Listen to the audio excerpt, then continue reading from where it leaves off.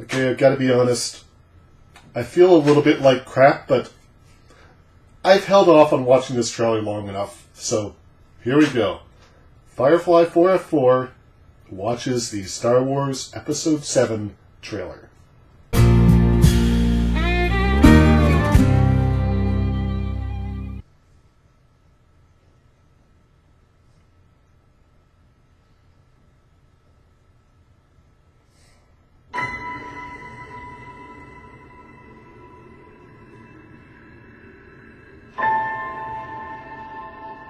Who are you?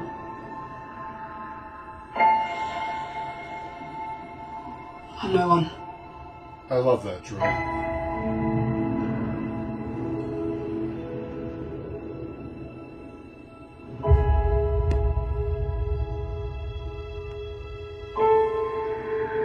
I was raised to do one thing.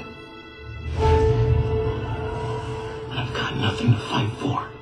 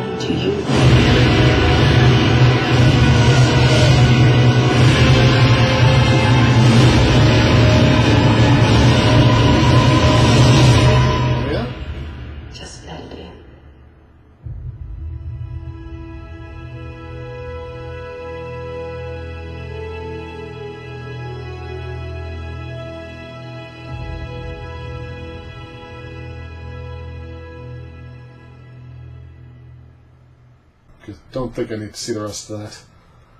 Hmm. It was shorter than I expected. It's a good trailer.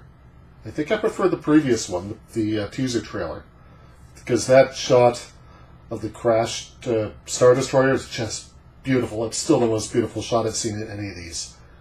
Okay, so at least we get to see a little bit more of Han.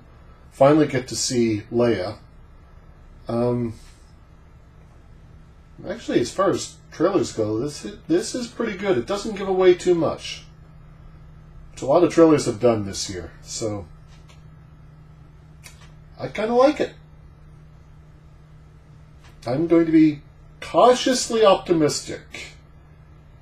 I saw nothing there that deters me. Uh, well, actually, no. One thing that deterred me a little bit, and how did they get the melted helmet of Darth Vader? But that's a question for the movie to answer.